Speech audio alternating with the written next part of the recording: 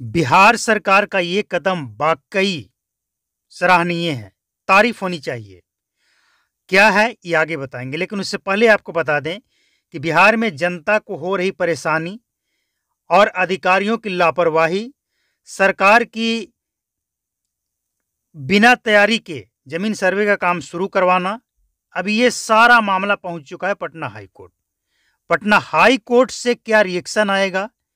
ज़मीन सर्वे में क्या आदेश आएगा, रोक लगेगी या क्या कुछ होने वाला है, ये जब आएगा तब हम आपको अपडेट करेंगे। चैनल को सब्सक्राइब करके बेल आइकन को प्रेस कर लें। लेकिन बिहार सरकार का ये आदेश बहुत अच्छा है। बिहार में बहुत से ऐसे लोग हैं जो इसलिए परेशान हैं कि उस परेशानी का वजह है अधिकारी, कर्मचारी, सीईओ और कंप्यूटर ऑपरेटर। अब यहाँ पे एक सवाल है उन तमाम अधिकारियों से कि जो अधिकारी सरकारी ड्यूटी के लिए, सरकारी नौकरी के लिए अप्लाई करते हैं तो जिस विभाग में वो अप्लाई करते हैं, उसकी तैयारी करते होंगे।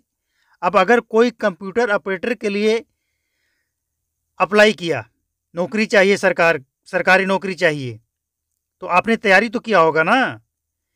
तो ज़मीन का पेपर में खाता नंबर क्या है, प्लॉट नंबर क्या है, नाम क्या है, ये गलत कैसे चढ़ जाता है?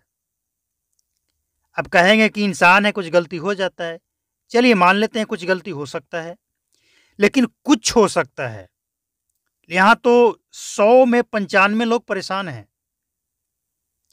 तो अगर आप सक्षम नहीं है इस काम के लिए तो आपको नौकरी क्यों चाहिए? एक बात। दूसरी बात यह है कि नौकरी के लिए पहले ये अप्लाई करेंगे, नौकरी लेंगे, इसके बाद सरकार के ऊपर प्रेशर बनाने के लिए हड़ताल करेंगे, तनख्वाह बढ़ाएँगे बढ़वाने के लिए ये सब करते हैं। लेकिन ड्यूटी क्या करते हैं ये? होता क्या है? किसी भी दस्तावेज़ को अपलोड करना है। सामने आ गया, रिश्तेदार का फ़ोन आ गया। फ़ोन पे बात करते करते काम हो रहा है।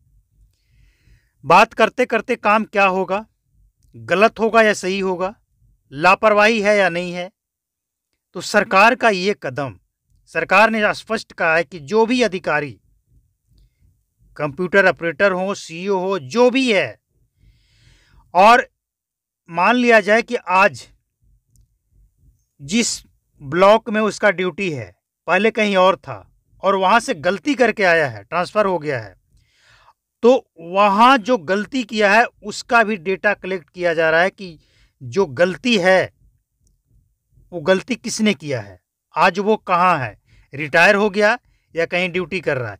यानी ये तमाम डेटा अगर इसमें सही में ईमानदारी से बिहार सरकार काम करे ना तो उन तमाम भ्रष्ट अधिकारियों की पोल पट्टी खुल जाएगी। और ये बिहार में जो ज़मीन सर्वे का काम बिहार सरकार के द्वारा किया जा रहा है हम समझते हैं बहुत बेहतर है बहुत अच्छा है। जानते हैं इसे क्या हो रहा है? ज़मीन का पेपर तो अप, अपडेट होगा ही।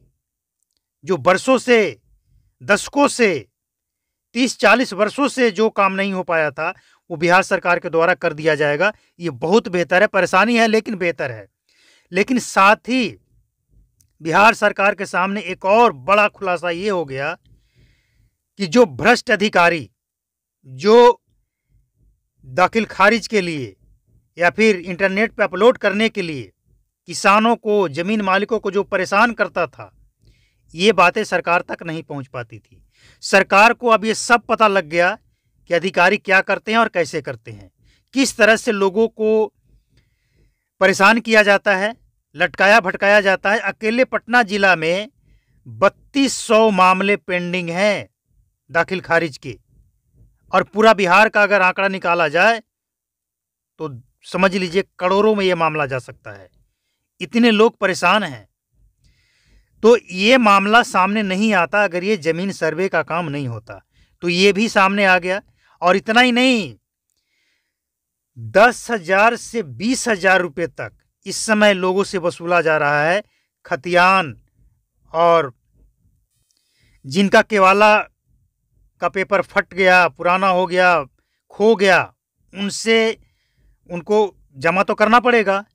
अगर वो रिकॉर्ड रूम में जा रहे हैं तो इतना पैसा उनसे वसूला जा रहा है अवैध तरीके से, दलालों के द्वारा। ये सारा डेटा, सारा जानकारी बिहार सरकार के पास पहुँच गया और बिहार सरकार ने एक्शन ले लिया है। बीजेपी के नेता दिलीप जायसवाल, बिहार के राजस्व भूमि सुधार मंत्री हैं। और वो जो काम कर रहे हैं ना बिहार में इस समय, तारीफ़ के काबिल है। नीतीश कुमार के नेतृत्व में ये जो काम चल रहा है, हालाँकि बिहार सरकार की कमी है, तैयारी नहीं है, लेकिन जो बिहार सरकार का ये काम है और जिस तरह से एक्शन लिया जा रहा है, इसकी तारीफ़ होनी चाहिए। कोई कुछ भी कहे, लेकिन अगर सरकार अच्छा काम करे तो उसकी तारीफ़ होनी चाहिए। अब उन तमाम अधिकारियों को लाइन हाजिर किया जाएगा कि आपको हमने रखा था बिहार सरकार का ये सवाल है कि आपको हमने कंप्यूटर ऑपरेटर के रूप में सैलरी दिया, ड्यूटी दिया, फिर ये लापरवाही कैसे हुई? कैसे? अगर आप सक्षम नहीं हैं तो रिजाइन दो, हम दूसरा ऑपरेटर रखेंगे। बहुत पढ़े लिखे बिहार में हैं, लाइन में खड़े हैं, नौकरी के लिए।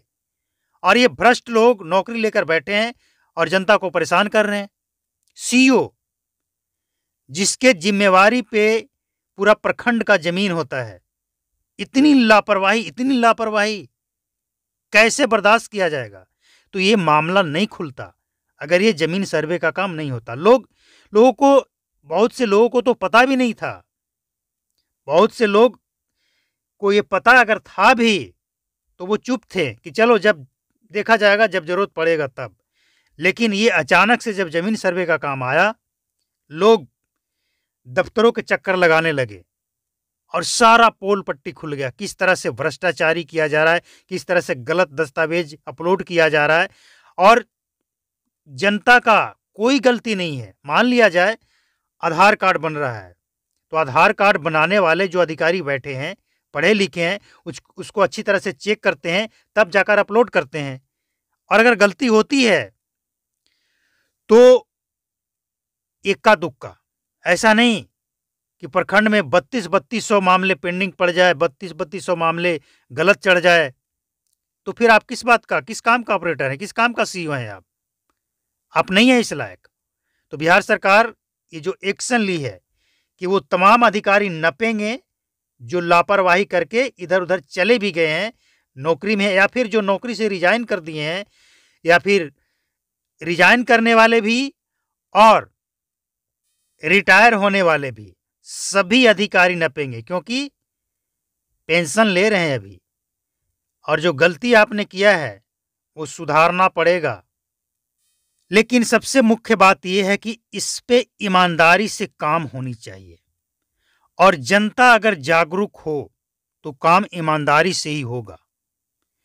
अगर कहीं भी आपसे एक पैसा नाजायज मांगा जाए तो आपको देना नहीं है। आप देते हैं, इसलिए इन भ्रष्ट अधिकारियों का मनोबल बढ़ता है। आपको विरोध करना है उसका। तब आप कहेंगे कि जल्दी काम कराने के लिए दे देते हैं। तो जल्दी काम कराने के लिए अगर आप देते हैं तो वो लेते हैं। फिर मामला तो वहीं का वहीं रह गया। तो जनता और सरकार, ये दोनों अगर ईमानदारी से जाग जाएँ और एक्शन लें तो भ्रष्टाचारी पे लगाम लगाया जा सकता है। पूरी तरह से खत्म तो नहीं हो सकता है। क्योंकि कुछ जनता की भी कमी होती है, जैसे कुछ गलत चीज़ों को अपलोड कराना है, कुछ गलत काम कराना है तो वहाँ पे तो रिश्वत देंगे ही।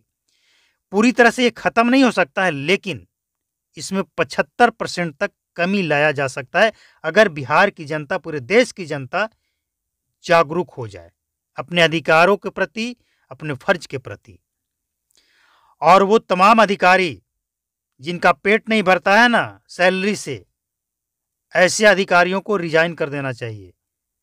और कैसे लोग हैं ये, जो अपने परिवार को अवैध तरीके से पैसा कमाकर रोटी खिलाते हैं, हालाँकि इस तरह के पैसा कमाने वाले कभी सुखी नहीं रह सकते हैं, क्योंकि उनके घर में अगर ज़्यादा पैसे आएँगे अवैध तरीके से तो सीबीआई ईडी का रेट तो बाद में पड़ेगा, जैसा कि बिहार में अभी कई जगह पे रेट पड़ा है, लेकिन उस घर में दवा और अस्पताल का चक्कर लगता रहेगा। ये भी एक कुदरत का कानून है। भले ही भारत के बने कानून में वो बच जाए, लेकिन कुदरत का जो कानून है, उससे बचना मुश्किल है भैया। आपने भी देखा होगा अपने आसपास। तो बिहार सरकार के इस काम के लिए तारीफ़ होनी चाहिए और अगला अपडेट आने तक चैनल को सब्सक्राइब करके बेल आइकन को प्रेस करके नोटिफिकेशन कॉल पर सेट कर लें और अगर ये रिपोर्ट आपको अच्छा लगा हो तो लाइक करें और शेयर ज़रूर करें ताकि ज़्यादा से ज़्यादा लोगों तक ये खबर पहुँचे, लोग जागरूक हों, अपने फ़र्ज़, अपने कर्तव्य के प्रति। नमस्कार, जय हिंद, थैंक यू।